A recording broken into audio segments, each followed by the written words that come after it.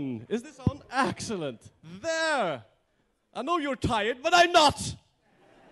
I'm at CERN. God damn it. I kind of went berserk in the gift shop, as you can see. yes. I bought everything. There's nothing left there. Yes. And I have Swiss francs now. it's really exciting because now I can pay fines in the Tour de France. Might come in handy someday, yes. Yes, as you notice, I'm very excited to be at CERN. I love CERN. It's, uh, it's the most famous experiment of the European Union, apart from Greece, of course. But, um, yes, well, yes. But,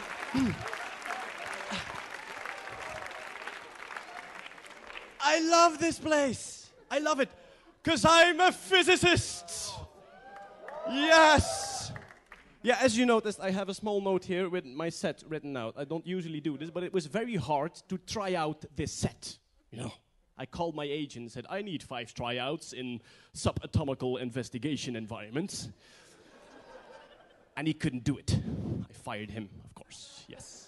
But I'm a physicist. Where are the physicists? Physicists are sons and daughters of the light, as my professor used to call us, yes. Any, any chemists? Chemists here?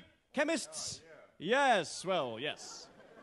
Welcome to the chemists, and well, congratulations for trying. You know, this, yeah, they're, they're, they're almost physicists. You know, they are. Where are the mathematicians? Ah, the higher elves of science. yes, they are so logical. They are so exact. I, I, heard a very nice joke about mathematicians the other day. It, I'm, I'm, just gonna, I'm just gonna tell, tell the mathematician. Well, there's two mathematicians jokes. You know, I heard them from, from a friend. One is uh, I, I, called, I called the department of mathematicians of my university the other day, and there was a voice saying, "We are really sorry. The number you have dialed is imaginary."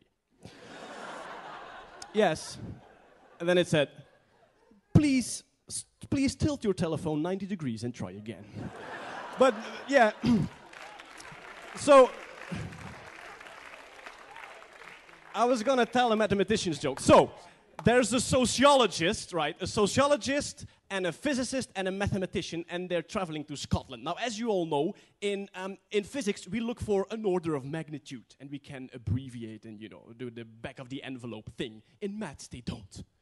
They are very, very, very, very exact. Now, a physicist, a sociologist, and a mathematician are traveling to Scotland, and they're landing there in, in, Scotland. They're, they're taking their first walk in Scotland, and they see two black sheep standing there in a meadow. Can I say meadow? What do you usually say? Or is meadow a medieval word? No?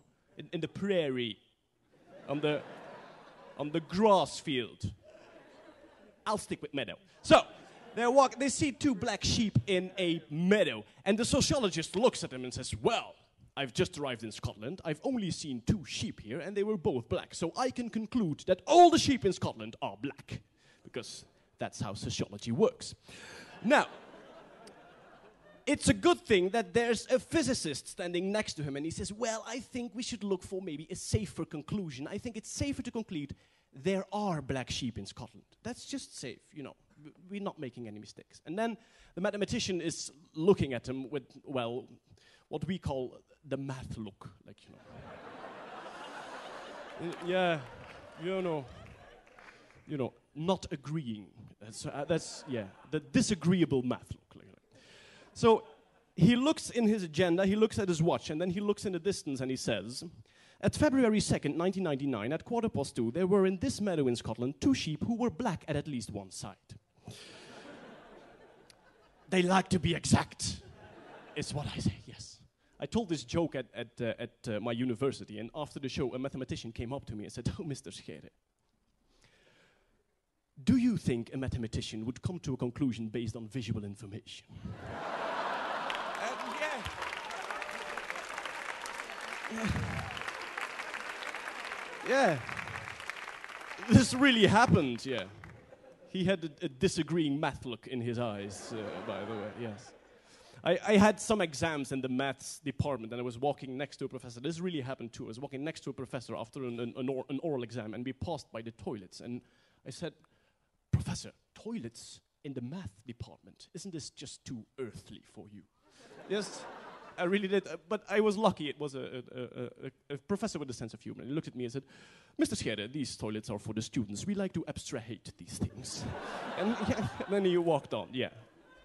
I didn't pass the exam anyway, so yeah, it's a bad luck.